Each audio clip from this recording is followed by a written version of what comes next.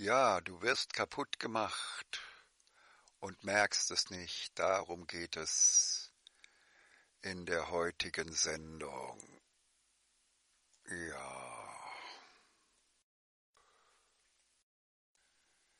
Ja, du wirst kaputt gemacht und merkst es nicht. Ja, alles ist Manipulation. Wir leben in einer Menschheitsepoche der Zentralirrtümer, der Irrtümer und alles ist Manipulation. Alle Wissenschaftler sind so durchmanipuliert, dass es ihnen schwerfällt, dir ganz klar zu sagen, was die Wahrheit über dein Leben ist die Wahrheit nämlich, dass wir eigentlich von der Natur her konstruiert sind für ein Leben in 150er Gruppenfamilien, wo du vielleicht 20, 30, 40 Mal so viel Sex und Liebesleben und Liebesgefühle und Liebesglück haben durftest und darfst, wie heute Heute musste dir dieses Liebesglück wegmanipuliert werden in den letzten 400.000 Jahren, damit du genügend Alkohol, Zigaretten, Süßigkeiten und so weiter kaufst und auch frustriert genug bist, um bereitwillig in den Krieg zu gehen und die Waffen der Waffenhändler zu konsumieren, um den Waffenhändlern große Profite zu bringen.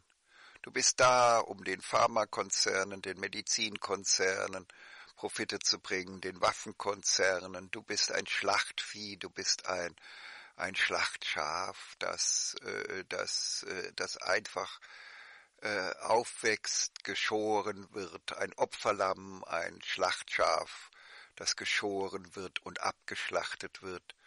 Und äh, und alle verdienen aus dir Geld heraus. Und niemand ist sich einer Schuld bewusst, weil dieses System ohne Bewusstheit funktioniert. Ja? Äh, denn sie wissen nicht, was sie tun. Ja? Denn wir alle, auch ich, ich war auch Teil des Bösen. Wir alle glauben, Gutes zu tun. Ich war Teil des Gesundheitswesens und habe in meiner Praxis auch gedacht, ich würde durch die Anwendung der im Studium vermittelten Theorien, die, die ich mittlerweile erkannt habe, dass es überwiegend sich um Zentralirrtümer handelte, also um nicht bewusste manipulativ wirkende Zentralirrtümer, die mir Geld bringen, aber den Patienten kein Glück bringen, sozusagen. Und ja, so funktioniert diese Welt. Äh, dass äh, wir alle gute Absichten haben. Wir lernen aber in unseren Ausbildungen und im Studium, in der Schule und so weiter einfach nur all die Zentralirrtümer, mit denen wir Geld machen können auf Kosten der Mitmenschen. Denn das ist das Prinzip dieser Welt aus Kapitalismus, äh, Sozialismus, Kommunismus, Nationalsozialismus, äh, diese Welt äh, besteht daraus, dass wir nur dann die größten Gewinne und Vorteile für uns selbst erzielen können, wenn wir nicht bewusst, also ohne dass es uns bewusst ist, äh, unwahre Zentralirrtümer für die Wahrheit halten, sie anwenden, dadurch andere, die Mitmenschen schädigen und ausschlachten und aus ihnen Geld herausholen. Ne? Deswegen, also du, du wirst kaputt gemacht und merkst es nicht. Du darfst dein natürliches Leben nicht leben, die Gruppenfamilie, die ist als Pfui erklärt worden sozusagen, aber es ist nicht Pfui erklärt, als Pfui erklärt worden, den ganzen Tag Alkohol, Zigaretten, Süßigkeiten, äh, Pizza und allen möglichen Fastfood-Kram zu fressen, äh, äh, Medikamente zu nehmen den ganzen Tag, äh, medikamentöse Drogen zu nehmen und es ist auch mittlerweile recht schick geworden, bestimmte Drogen zu nehmen und so weiter. Ja? Also insofern konsumieren darfst du alles und in den Krieg ziehen darfst du, du darfst dich voll pumpen lassen mit äh, nicht mit Mo du kannst dich mit Mozartkugeln voll plumpen pumpen lassen pumpen und mit äh, von durch Bleikugeln äh, vollpumpen lassen und so weiter und immer bringst du Profit und wirst äh, dahin geschlachtet in den Schlachthäusern, ach nee, wie heißen die Krankenhäuser, Krankenschlachthäusern und so weiter. Und alle haben die besten Absichten, alle glauben nur die Irrtümer, die sie gelernt haben, mit denen man Geld macht und halten sich alle äh, für menschenfreundliches äh, Tuende.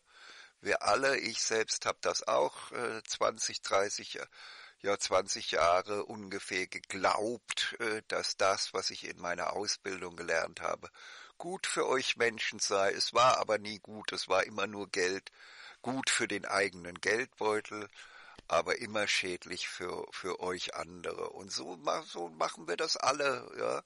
Und im Gemeinwohlland ist, gibt es, ist, ist, ist das genau das Gegenteil. Das ist das Paradies auf Erden, im Paradies der Klugen.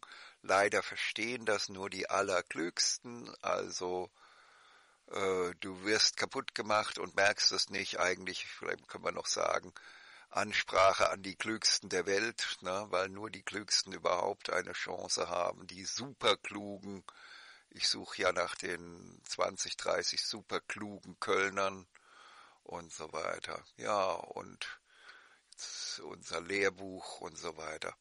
Ja gut, also ich lese mal ein bisschen vor, was es seit den letzten zwei Wochen so an neuen Ideen und in Gesprächen sich an neuen Ideen ergeben hat, intern und so weiter.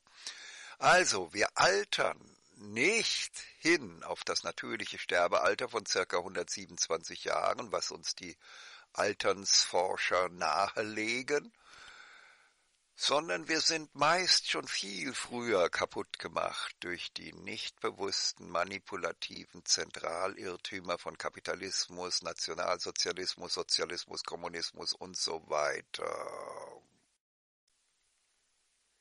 Die Bücher, die ich jetzt an weit über 50 kluge Kölner verkauft habe, wo ich hoffe, dass wir doch in anderen Gebieten Kölns dann auch noch ähm, ein paar hundert kluge Kölner finden und dann hoffen wir, dass daraus dann eben vielleicht 30 äh, superkluge Kölner übrig bleiben, die dann auch wirklich anders leben wollen, die äh, Kommune leben wollen, Gemeinschaft leben wollen, eben Gruppenfamilie eventuell sogar erleben leben wollen. Ja, von 30 Professoren, die die Manipulationswissenschaften begründet haben. Die Entstehung der Arten war der Titel von Charles Darwin, die Entstehung der Manipuliertheit wäre der ein guter Obertitel über unser Buch. Ne? Diese Manipulationswissenschaften besagen, dass der normale Mensch höchstens 20 Prozent der Manipulationen durchschaut und lebenslang Opfer von 80 Prozent der Manipulationen bleibt. Das Lehrbuch 1 der Manipulationswissenschaften braucht, braucht jeder. Viele brauchen auch noch Buch 2. Ja, und jetzt kann man zeigen am Beispiel von Krimis, die ich so zu, das einzige, was ich so zur Ablenkung äh, und Freizeit so konsumiere. Äh, Krimis, eine Ärztin ohne Prüfungen kann einen Tumor operieren und äh, die Erblindung des kleinen Kindes verhindern. Was hätte die Mutter im Gemeinwohlland stattdessen gedacht? Ja, sie hätte im Gegensatz zu dem kapitalistischen Manipulationsopfer, das sich verrückt macht über das Kind und so weiter, hätte sie gedacht, na ja, Statt riskanter, teurer Operation, was ja schließlich auch meine geliebten Mitmenschen finanziell schädigt, lasse ich das Kind palliativmedizinisch glückselig entschlafen.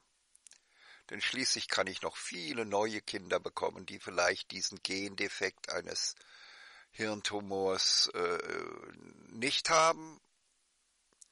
Wenn auch die anderen Kinder Tumore bekommen, muss ich mich als Mutter hinterfragen, ob ich giftige Nahrung oder andere tumorerzeugende Gifte an meine Kinder und an mich selber herankommen lasse.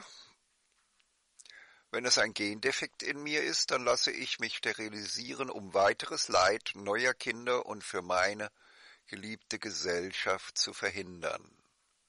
Das ist ein natürlicher Standpunkt. Ja? Und der kapitalistische Standpunkt, da wird uns von den Sparten, die zum Beispiel an dieser Operation verdienen und an den Operationen verdienen, werden wir äh, durchmanipuliert, mit Zentralirrtümern gefüttert, die die äh, das Personal dieser Geldmachhäuser sozusagen äh, äh, im Studium erlernen, nämlich das, ach, wir müssen doch um jeden Preis dieses Kind retten vor der Erblindung und damit der Operation hingehen und so weiter. Und äh, ja, und diese Ärztin empfindet sich, äh, die keine Prüfung gemacht hat, aber ein Händchen hat fürs Operieren, die empfindet sich als Superoperateurin und Superhelferin der Menschen. Dabei wäre es doch vielleicht einfach besser, anstatt jetzt dieses Kind zu quälen, es einfach ein entschlafen zu lassen, glückselig, mit ganz geringem Kosten und ganz geringen Aufwand und, äh, und, und einfach aufzuhören, dieses Geldgeschäft zu machen, äh, äh, an, an jedem äh, Defekt äh, Milliardengelder zu verdienen, aber eben die, die Menschen im Kapitalismus sind manipuliert, anstatt sich darauf zu konzentrieren, möglichst schnell neue Kinder zu bekommen, die das alte Kind ersetzen können und besser ersetzen können, wird ein Riesentheater gemacht, damit am Ende einfach nur eins geschieht, ein Geldfluss von den Eltern und der Gesellschaft in Richtung der Gesundheitssparten, auf dass diese richtige Profite machen. Und deswegen verbreiten die seit Jahrtausenden sozusagen Zentralirrtümer über alle Medien, in alle Köpfe hinein, Nein, wenn irgendwo ein Defekt auftaucht, dann muss der mit Milliardenkosten äh, äh, Geldern auf Kosten der Eltern, auf Kosten der Familie, auf Kosten der Gesellschaft äh, äh, sozusagen repariert werden, auf dass die Gesundheitssparten die reichsten Sparten der Menschheit werden und so weiter. Und so ist jede Sparte, das sind ja nicht nur die Gesundheitssparten, sondern jede Sparte nagt an ihnen und äh, manipuliert sie durch und ihr Leben wird kaputt gemacht, ja. Sie werden beschädigt an Wohlfühlen, du wirst beschädigt an Wohlfühlen, Gesundheit, äh, Langlebigkeit und Wohlstand, äh, äh, auf das irgendwelche Sparten jeweils äh, davon profitieren. Ne? Dann zum Zentralirrtum Mindestlohn nochmal zurück. Seht doch, also auch durch den Mindestlohn wirst du ja mani äh, wird dein Leben zerstört, weil dadurch Massen an Arbeitslosen produziert werden. Also entweder wirst du dadurch verurteilt zur Langzeitarbeitslosigkeit wodurch dann die Arbeitsamtsmitarbeiter, äh, die Arbeitsamtssparten sich enorme Karriere machen können auf deine Kosten. Oder du wirst dazu verurteilt, dass dir ganz viel Geld deines erarbeitenden Geldes abgezogen wird, um eben äh, die Langzeitarbeitslosen und den, den, äh, den Industriebetrieb Arbeitsamt zu finanzieren durch dein Geld, ja, und so, ja, du, du bist, äh, du bist einfach nur, wie war der oberste Satz, du wirst kaputt gemacht und merkst es nicht, ja, und wie gesagt, dadurch, dass man dir das Liebesleben weggenommen hat, zwingt man dich quasi dazu, wenn du halbwegs glücklich werden willst, musst du dann wenigstens auf Teufel komm raus konsumieren. Nur dass äh, eben Alkohol, Zigaretten, Süßigkeiten, Fastfood und so weiter, Pizza und all der Kram, dich natürlich auch schnell krank machen, diese Drogen, diese Geschmacksdrogen, die als Ersatz für nicht gelebtes Liebesleben da sind. Naja, und so wirst du halt kaputt gemacht und du, du alterst nicht und, und stirbst nicht am, am, am, äh, am äh, sozusagen friedlich als aus Altersschwäche einschlafen, sondern du bist einfach ein Wrack. Schon nach, nach 40 Jahren sind die meisten Menschen heutzutage Wracks. Und äh, wenn sie dann über 100 werden, dann, äh, dann als chronisch Kranke, die sich nur noch dahin schleppen. Ne? Also wir werden alle kaputt gemacht. Ne? Ja, also nochmal zum Zentralirrtum Mindestlohn. Da gibt's ja doch so einen, so einen Standpunkt, oh, seht doch, manche Firmen können sich doch den Mindestlohn auch dann leisten, wenn die Mitarbeiter den nicht wert sind. Sie müssen nur auf ein wenig Gewinn verzichten, ja. Äh, ja, aber bei allen Unternehmen, die auf Außeninvestoren, Geldgeber, Aktionäre angewiesen sind, um im Wettbewerb mithalten zu können, muss man auch den Geldgebern genügend Gewinne in Aussicht stellen können, sonst investieren die lieber in die Konkurrenz. Ja, also, also einfach so auf Gewinn verzichten ist eben auch äh, nicht so einfach und auch auch sogar der Einzelunternehmer, der äh, für den ist das auch ein Problem, einfach auf Gewinn zu verzichten. Ja? Ähm, also deswegen, von daher gibt es auch einen Zwang zu ausreichendem Gewinn. Und auch ein Einzelunternehmer, der seinen eigenen Gewinn opfert, hat entweder nicht mehr genug Investitionskapital, um mitzuhalten, oder wenn er seinen Luxus reduziert, hat er nicht mehr genug Chancen auf genetisch hochwertige Zeugungspartner für leistungsfähige weitere Generationen, die das Unternehmen erfolgreich weiterführen können. Also Mindestlohn ist immer falsch, wie, egal wie man es dreht oder wendet. Also wie gesagt, diese ganzen Manipulationen der Linksextremisten, die sind auch nur alle dazu da, dich äh, zu manipulieren, entweder zum Opfer einer Linksrevolution zu werden oder zum Mitwirkenden äh, einer Linksrevolution zu äh, werden, aber am Ende äh, ist alles zerstört und am Ende verdienen wieder die Sozialspartler, die sich dann an einem zerstörten Land und deren die, der Verwaltung eines verarmten und zerstörten Landes äh, von von vielen Arbeitslosen und armen Menschen äh, gut verdienen zu können. Also sozusagen diese linksextremistischen Fantasien sind alle dazu da, äh, äh, das sind scheingute Ideen wie der Mindestlohn, die am Ende aber wieder mehr Armut, mehr Elend produzieren und dadurch für die Arbeitsamtmitarbeiter und Sozialspartler neue Karriere Chancen ermöglichen und wieder wird dabei dein Leben, dein Leben nur kaputt gemacht. Ne? Ja, ja, zwischendurch mal eine Überlegung zum Gemeinwohlland.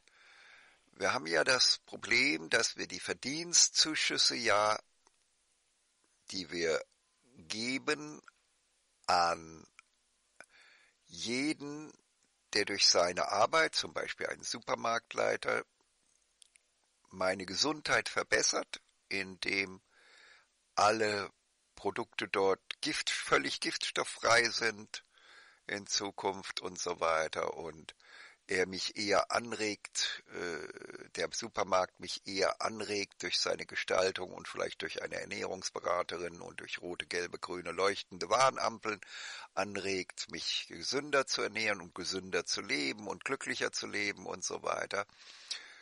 Diese Verdienstzuschüsse, die müssen ja im Zweifelsfall äh, auch äh, durch Steuern äh, ermöglicht werden also Verdienstzuschüsse und Steuererhöhungen können klein gehalten werden. durch veröffentlichte Ranglisten, die zu Kundenwanderungen führen, die auch als Verdienstzuschüsse wirken. Durch was denn noch? Ja? Zum Beispiel könnte man das auch so machen, dass Rangliste, Rang, diese Ranglisten äh, jede Woche neu veröffentlicht werden müssen an jeder Supermarkttüre. Äh, Pflicht, dass die da Pflicht sind, Rangliste an jeder Supermarkttür als Pflicht und so weiter oder an jedem, an jedem Restaurant, also so dass man, wenn man vor dem Restaurant steht, kann man gucken im Gemeinwohlland, äh, wer hat noch einen positiv, welcher Restaurantleiter hat in der Nachbarschaft noch einen positiveren Einfluss auf die Gesundheit als dieser? Wie groß ist der Unterschied? Lohnt es sich da zu dem anderen Restaurant zu gehen? wenn man noch mehr für die eigene Gesundheit tun will und so weiter, ja.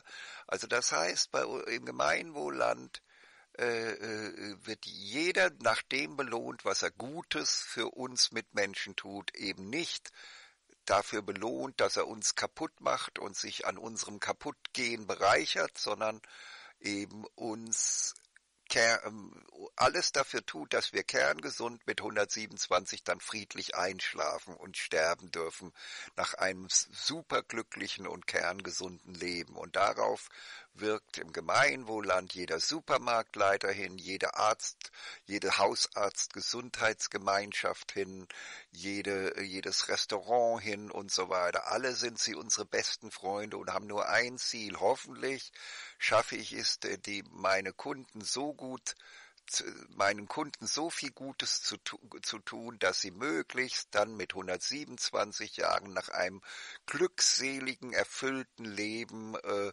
friedlichst einschlafen, sozusagen im Kreis ihrer geliebten Menschen, ne? und so weiter. Ja, und das ist äh, das ist Gemeinwohlland. Ne? Und du lebst hier im, in, Kapit in den kranken äh, Systemen Kapitalismus, Sozialismus, Kommunismus, Nationalsozialismus, die alle zur, Gro zur, zur Großgruppe der kapitalistoiden Systeme gehören sozusagen und die alle, bei denen es nur darum geht, dein Leben zu zerstören, dich kaputt zu machen ne? und dich nicht altern zu lassen, sondern dich kaputt zu machen. So, wieder ein Beispiel aus der Presse. Äh, auch in der Politik scheint die Glücksforschung, ah ja, da ist so ein bisschen das, wir sollten ja, der Weltrat sollte ja laut Wunsch seines Teams äh, von den, äh, den Vizekanzler Robert Habeck beraten, aber äh, dazu ist es noch nicht gekommen, aber man sieht auch, dass bei denen die Überlegung zum Thema Glücksforschung im Gegensatz zum Gemeinwohlland und zu den Gemeinwohlgemeinschaften, zum den Botschaftsgeländen des Gemeinwohllandes äh, viel, also nur absolut oberflächlich geschieht. Also nochmal zu dem Presseartikel. Auch in der Politik scheint die Glücksforschung vermehrt wahrgenommen zu werden. Das von Vizekanzler Robert Habeck, Grüne, geführte Bundeswirtschaftsministerium plant eine sogenannte Wohlfahrtsmessung. Warum keine Wohlfühlmessung? Bei uns ist, heißt es, äh, im Gemeinwohlland ist es die Wohlfühlwahlstimme. Ne? Ziel ist es, statt wie in der Vergangenheit nur ökonomische, nun auch ökologische und soziale Dimensionen in den Blickpunkt zu rücken, wie es in einer öffentlichen Konsultation des Ministeriums Ende Juli hieß. So sollen wirtschaftspolitische Kennziffern wie das Bruttoinlandsprodukt ergänzt werden. Quantitatives Wirtschaftswachstum im Sinne einer Steigung des Bruttoinlandsproduktes ist nicht gleichbedeutend mit einer Erhöhung des Gemeinwohls und Lebensqualität der Bürgerinnen und Bürger, heißt es in der Mitteilung. Soweit das bisschen Wischiwaschi zum Gemeinwohl bei den Grünen, ja? Also das heißt, ja, das ist ja eben gerade der Punkt, dass im Kapitalismus Kapitalismus, Sozialismus, Kommunismus, Nationalsozialismus, alles gegen dein Geme äh, unser Gemeinwohl und deine Lebensqualität geht. Wir werden, das ist ein, sind, ist ein krankes System, das kaputt macht und und Gemeinwohl heißt das Gegensystem, das einzige Gegensystem der Welt, äh, dass wir dann in unseren Gemeinwohlgemeinschaften, Botschaftsgeländen des Gemeinwohllandes und hoffentlich irgendwann in einem eigenen Gemeinwohlland leben dürfen, ist das Gegenmodell, wo jeder Mensch dein Freund ist und jeder Mensch das Ziel hat, hoffentlich kann ich ein Kaputtgehen meines Freundes verhindern und durch mein äh, Handeln, mein Arbeiten beitragen, dass der ein glückseliges, äh, sexuell befriedigendes, äh, erfüllendes Liebesleben hat und dann mit 127 Jahren kerngesund an Altersschwäche einschläft, friedlich, ohne es zu merken. Ne? Ja. Ja, und dann im Krimi wieder ein Beispiel äh, fast schon einer Selbsterkenntnis der eigenen, des eigenen äh, äh, äh, sozusagen der eigenen Verbrechensförderungstendenzen, der nicht bewussten Verbrechensförderungstendenzen. Zwei Polizisten stoßen also im Krimi an auf all die Verbrecher, die unser Leben sinnvoll machen. Ja, wir brauchen quasi da fast schon nah dran an der Erkenntnis, nämlich dass man im, in, im Kapitalismus, in den kapitalistoiden Gesellschaftsformen äh, äh, sozusagen äh, äh, möglichst viele Verbrecher braucht und auch viele, möglichst viele Menschen ermutigen sollte, Verbrecher zu werden, damit das Leben der Polizisten, der Richter, der Staatsanwälte, der Gefängniswärter, der der Betreuungs äh, der der der Bewährungshelfer und all dieser Berufsgruppen, die von Verbrechern leben, äh, vom Kontakt mit Verbrechern leben, damit deren Leben sinnvoll gemacht wird. Ne? Das ist ja im Gemeinwohlland werden alle nur belohnt, wenn es gar keinen Verbrecher gibt. Wenn es null Verbrecher im Gemeinwohlland gibt, werden die kleinen äh, Teams der aller Sparten innere Sicherheit, die es da auch gibt, aber nur ganz klein gibt, die werden alle nur dann belohnt, wenn es im Gemeinwohlland null Verbrecher gibt. Dann gibt's die höchsten Belohnungen und wenn es einen Verbrecher gibt, werden die Belohnungen für alle reduziert. Ne? Und das führt dann dazu, dass eben nicht wie bei uns hier äh, Verbrecher ermutigt werden, dich kaputt zu machen, dich zu überfallen, dich, dich äh, schwer zu verletzen, dich zum Behinderten zu machen und so weiter. Ne? Oder dich gleich, gleich ganz um, umzubringen. Ne? Ja, und nochmal zur Situation hier in Köln. Ich suche hier in Köln die vielleicht 20 oder 30 superklugen Kölnerinnen. Trotz ja weit über 50 verkaufter Bücher habe ich noch keinen gefunden. Denn wer das Buch als superkluger versteht, sagt dann zwangsläufig, wenn ich normal weiterlebe, habe ich keine Chance auf ein wahrhaft glückliches Leben. Also muss ich mitarbeiten an Gemeinwohlland und Gemeinwohlgemeinschaften an Botschaftsgelände des Gemeinwohllandes Köln.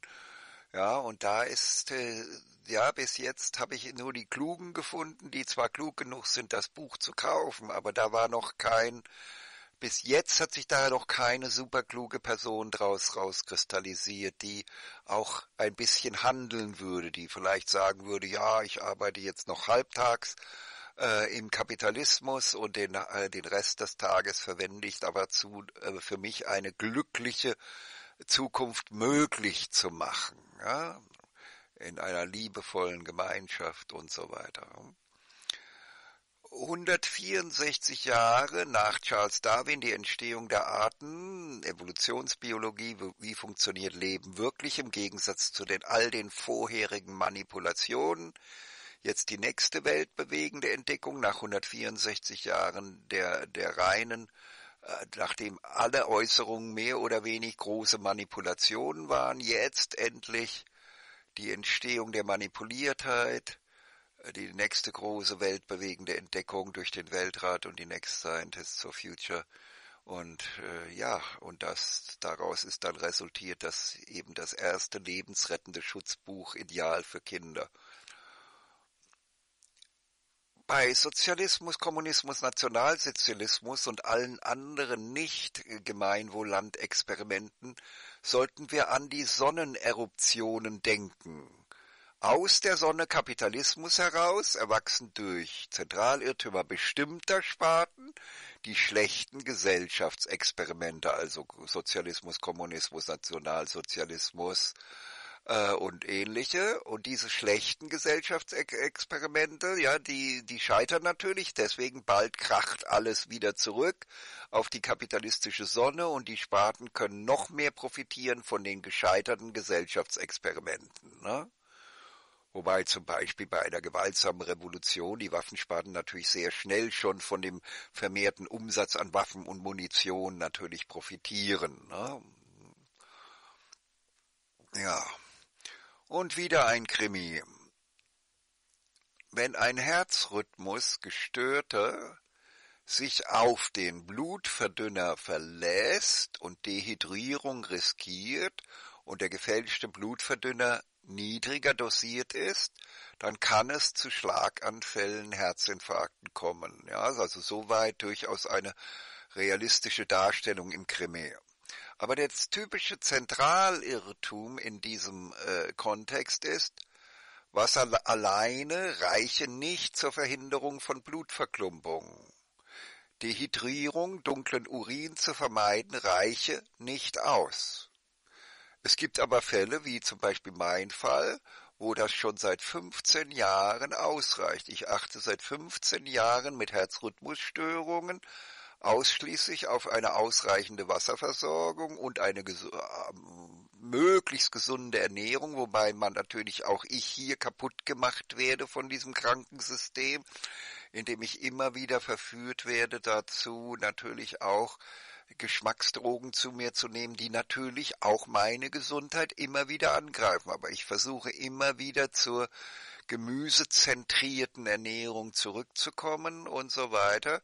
Und bis jetzt hat es 15 Jahre lang ausgereicht, schwerste Herzrhythmusstörungen, Probleme, also ohne jegliche Probleme zu überleben bis jetzt äh, durch ausreichendes Wasser trinken, äh, hellen, relativ hellen Urin und so weiter. Und äh, also für mich ist es ein Zentralirrtum die Behauptung, ich bräuchte unbedingt den Blutverdünner.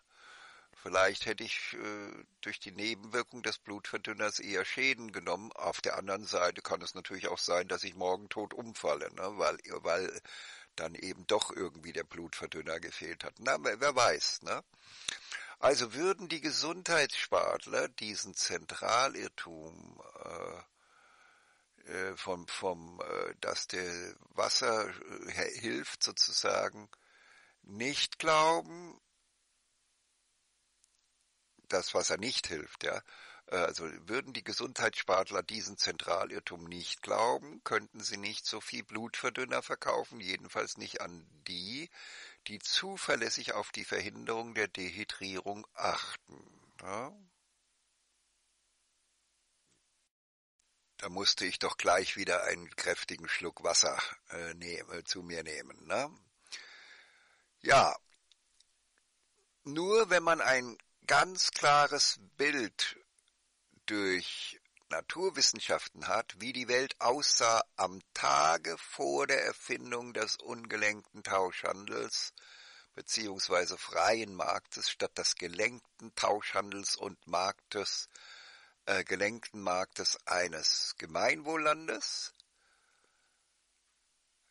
kann man nur dann kann man sehen, dass alles heutige einfach nur völlig verrückt und schrecklich ist, ein Leiden ohne Ende und eigentlich so unnötig. Ja?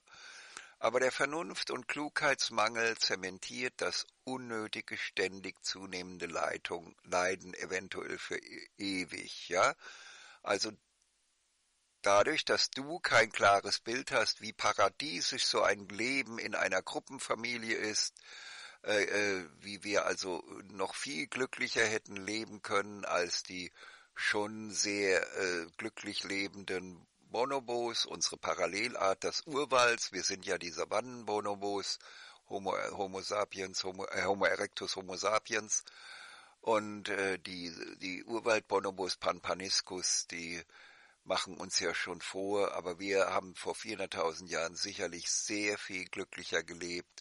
Und dann kam der Tag der Erfindung des äh, ungelenkten Tauschhandels und freien Marktes und ab, von nun an ging es bergab. Und ab dem Moment wurdest du zerstört, wurden deine Vorfahren zerstört und äh, wir alle wurden zerstört. Ne? Wieder mal ein Krimi-Beispiel. Der Sohn regt sich auf, dass sein vermeintlicher Sohn von seinem Vater gezeugt wurde und ermordet den Vater. Alles rund um den Sohn bereichert sich an ihm und an seiner widernatürlichen kapitalistischen Lebenssituation.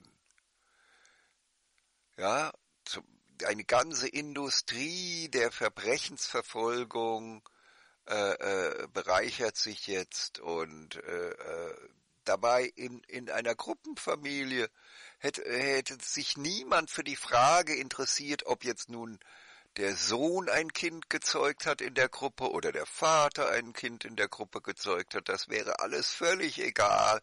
In der natürlichen Gruppenfamilie hätte es überhaupt kein Problem gegeben, ja, und auch äh, und auch diese ganze äh, Eifersuchtsgeschichten, diese ganze Zentralirrtümer von der von, davon, du musst dich Eifersucht verhalten, wenn du ein richtiger Mann bist und so weiter und musst da gewalttätig reagieren. Diese Zentralirrtümer hätte es ja nie gegeben, ja, in, in unserem natürlichen Kontext, ja. In der natürlichen Gruppenfamilie hätte es überhaupt kein Problem gegeben. Niemand hätte gewusst, wer der Vater welches Kindes ist. Alle Männer hätten sich als Väter aller Kinder gefühlt und verhalten. Null Problem.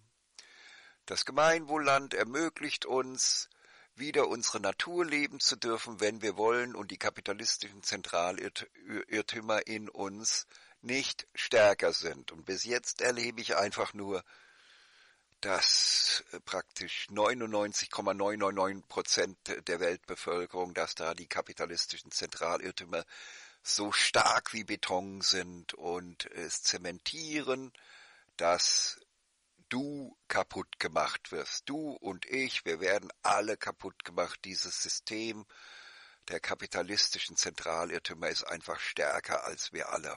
Ne? Wieder ein Krimi-Beispiel. Alle die, die von der Zunahme von problematischen Kindern profitieren, hetzen nicht bewusst mit ihren Zentralirrtümern die Abtreibungsgegner auf, dafür zu kämpfen, dass möglichst viel Kundennachschub geboren wird für all die Niedergangsgewinnlersparten.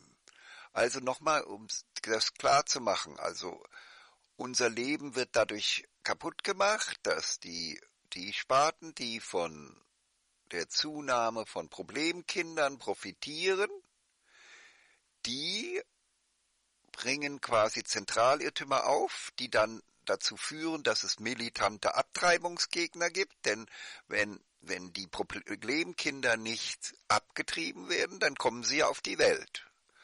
Und diese Problemkinder müssen ja betreut werden. Und daran verdienen wieder bestimmte Sparten im Kapitalismus. Und, und die haben quasi ja einen Gewinn dadurch, wenn ihre Zentralirrtümer sich dann in den Köpfen der Abtreibungsgegner befinden, die auf die Barrikaden gehen und dafür sorgen, dass die Gesetze geändert werden und Abtreibung verboten wird und äh, Spätabtreibungen sind ja heute überall weltweit verboten, äh, in völlig widernatürlicher Weise und so weiter. Ein Großteil des Abtreibungsgeschehens ist also ja weltweit nach wie vor verboten und äh, dadurch kommt es immer wieder, ja, dass äh, Kundennachschub geboren wird für all die Niedergangsgewinnlersparten.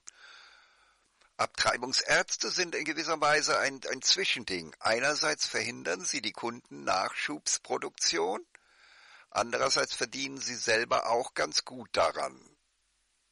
Ja, im Gemeinwohlland wäre alles viel billiger. Die Mutter entscheidet, billigste Palliativmedizin, fertig. Ja, die Mutter entscheidet, soll das Kind leben, soll es sterben und billigste Palliativmedizin, glückseliges Einschlafen und Entschlafen fertig. Ne? Und äh, ja, aber äh, die im Kapitalismus, Sozialismus, Kommunismus, Nationalsozialismus muss natürlich ein Riesengeschäft aus allem gemacht werden. Ne? Das ist auf Kosten. Und du musst das Ganze bezahlen und deswegen wird dein Leben kaputt gemacht. Ja, das war's schon wieder. Hier ist der Strich, das war's, was in den letzten zwei Wochen war. Also, dein Leben wird kaputt gemacht, dein Leben wird zerstört, mein Leben wird zerstört, wir sind alle Opfer einer völlig verrückten Welt und so ist es halt. Wir können es nicht ändern. Ja. Ich weiß jetzt nicht, was das hier für ein neues System ist.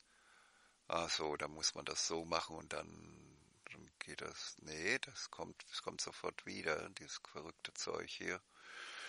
Ja, also, das war's wieder für zwei Wochen. Also, ihr seht, es sieht nicht gut aus. Ich glaube nicht, äh, ich glaube, dass der Weltrat zu Recht etwas pessimistisch äh, in die Zukunft schaut. Ähm, es gibt nicht genügend kluge und vernünftige Menschen auf der Erde. Es ist, wird vielleicht noch nicht mal gelingen, auch nur eine Insel des glücklicheren Lebens zu schaffen. Die Zentralirrtümer zerstören uns alle und machen uns alle kaputt. Und das ist durch nichts aufzuhalten. Unser Leiden der Schrecken ohne Ende ist nicht aufzuhalten. Ukraine, Israel, Palästina, diese ganzen Verrücktheitsformen, das ist alles nicht aufzuhalten. Naja gut, äh, ja, aber wenigstens sehen wir die Wahrheit und äh, so ist es halt aber auch. Ne? Aber vielleicht äh, kommen ja, resultieren ja doch, kommen ja noch ein paar superkluge und es entsteht ein kleines Paradies, eine kleine Insel des Paradieses auf Erden, ein Gemeinwohlland, eine Gemeinwohlgemeinschaft, ein Botschaftsgelände des Gemeinwohllandes hier in Köln und so weiter. Und wir haben wenigstens noch ein paar schöne Jahrzehnte und glückliche Jahrzehnte vor uns. Ja, jetzt muss ich das abschalten. Tschüssi, bis in zwei Wochen.